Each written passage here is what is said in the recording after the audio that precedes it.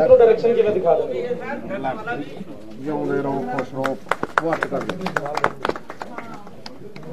But ਇਹ youth ਨੂੰ ਕਿੱਦਾਂ ਡਾਇਰੈਕਸ਼ਨ ਦੇਣਗੇ ਤੁਹਾਡੇ ਹਿਸਾਬ ਨਾਲ ਕਰਦੇ ਆ ਕਰਦੇ ਆ ਕਰਦੇ ਆ ਕਰਦੇ ਆ Already ਜਵਾਬ- ਦੇਈ ਜਾਂਦੇ ਆ। ਜਵਾਬ ਦਿੰਦੇ ਆ, ਹੁਣੇ ਜਵਾਬ ਇਸ ਬੰਦੇ ਨੂੰ 10 ਕਰੋੜ ਤੋਂ ਫੋਲੋ ਕਰਦੇ ਉਹਨੂੰ ਯੂਥ ਨੂੰ ਡਾਇਰੈਕਸ਼ਨ ਦੇ ਹੀ ਰਿਹਾ ਨਾ। That's why people are following sir sir youth ਤਾਂ ਬਲਾਈਂਡਲੀ ਕਈ ਵਾਰੀ ਫੋਲੋ ਕਰ ਲੈਂਦਾ ਨਾ। ਇੰਨਾ ਨਹੀਂ ਹੈ। ਬਟ ਮੈਨੂੰ ਨਹੀਂ ਕਰ ਰਿਹਾ। ਤੁਹਾਨੂੰ ਵੀ ਕਰਦੇ ਸਰ ਕਾਫੀ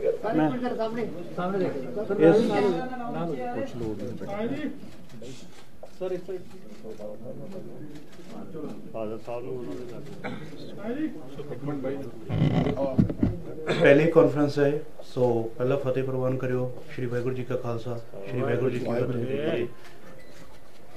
ਅੱਜ ਤੋਂ 3 ਸਾਲ ਪਹਿਲਾਂ 4 ਸਾਲ ਪਹਿਲਾਂ ਮੈਂ 뮤직 ਸਟਾਰਟ ਕੀਤਾ ਸੀ।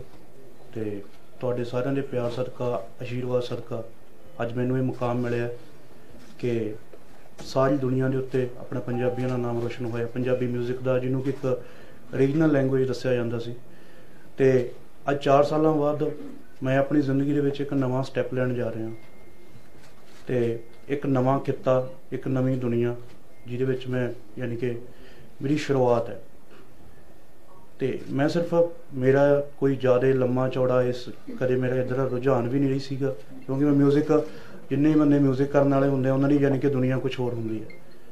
ਪਰ ਮੇਰਾ ਸ਼ੁਰੂ ਤੋਂ ਲਗਾਅ ਪਿੰਡ ਨਾਲ ਰਿਹਾ, ਅਸੀਂ ਆਮ ਪਰਿਵਾਰਾਂ ਚ ਉੱਠੇ ਹੋਏ ਲੋਕ ਆ, ਠੀਕ ਹੈ ਜੀ। ਮੇਰੇ ਫਾਦਰ ਸਾਹਿਬ ਨੇ ਐਕਸ ਆਰਮੀ ਮੈਨ ਨੇ, ਤੇ ਮਾਤਾ ਮੇਰੇ ਯਾਨੀ ਕਿ ਹਾਲੇ ਵੀ ਅਸੀਂ ਚਾਹੇ ਪਰਮਾਤਮਾ ਨੇ ਬਹੁਤ ਤਰੱਕੀ ਦਿੱਤੀ, ਅਸੀਂ ਉਸੇ ਪਿੰਡ 'ਚ, ਉਸੇ ਘਰ 'ਚ ਰਹਿ ਰਹੇ ਹਾਂ।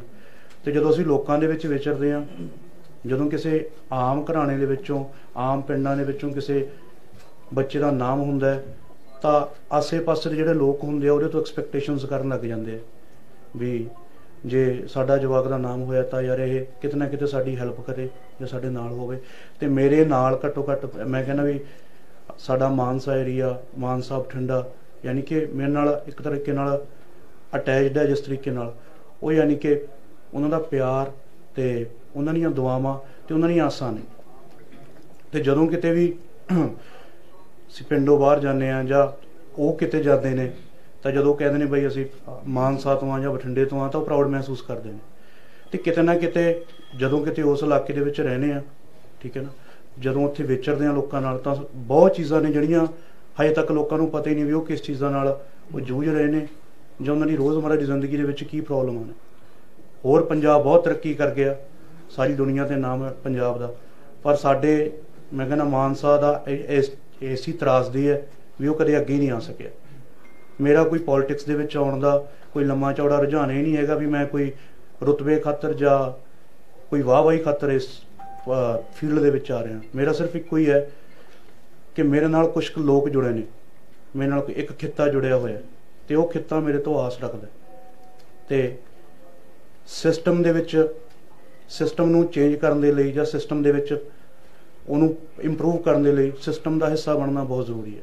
ਤੇ ਮੇਰੇ ਲਈ ਸਭ ਤੋਂ ਵੱਡੀ ਜਿਹੜੀ ਉਹ, ਯਾਨੀ ਕਿ ਉਹ ਜ਼ਰੂਰਤ ਸੀ, ਉਹ ਮੈਂ ਇਸ ਪਾਰਟੀ ਥਰੂ ਯਾਨੀ ਕਿ ਆਪਣੇ ਲੋਕਾਂ ਦੀ ਆਵਾਜ਼ ਉਠਾਉਣ ਦੀ ਕੋਸ਼ਿਸ਼ ਕਰ ਰਿਹਾ ਤੇ ਰੀਜ਼ਨ ਇਸ ਪਾਰਟੀ ਦਾ ਕਿ ਮੈਂ ਕਾਂਗਰਸ ਹੀ ਕਿਉਂ ਜੁਆਇਨ ਕੀਤੀ, ਉਹਦਾ ਇੱਕ ਬਹੁਤ ਵੱਡਾ ਤੇ ਇੱਕ ਖਾਸ ਰੀਜ਼ਨ ਹੈ।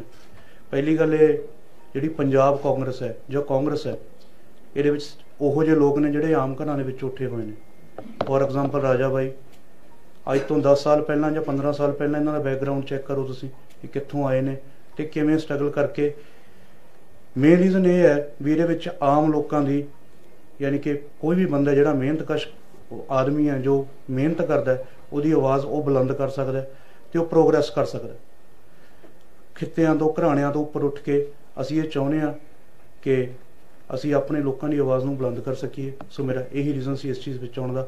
ਤੇ ਬਾਕੀ ਮੈਂ ਪੰਜਾਬ ਦੇ ਲੋਕਾਂ ਨੂੰ ਤੇ ਦੁਨੀਆ ਜਿੰਨੀ ਵੀ ਮੈਨੂੰ ਪਿਆਰ ਕਰਦੀ ਹੈ ਮੈਂ ਉਮੀਦ ਕਰਦਾ, ਜਿਵੇਂ ਕਿ ਮੈਨੂੰ 뮤직 ਦੇ ਵਿੱਚ ਤੁਸੀਂ ਆਸ਼ੀਰਵਾਦ ਤੇ ਪਿਆਰ ਦਿੱਤਾ ਤਾਂ ਮੈਨੂੰ ਆਸ਼ੀਰਵਾਦ ਦਿਓਗੇ ਕਿ ਮੈਂ ਆਮ ਲੋਕਾਂ ਦਾ ਸਹਾਰਾ ਬਣ ਸਕਾਂ। ਸਤਿ ਸ਼੍ਰੀ ਅਕਾਲ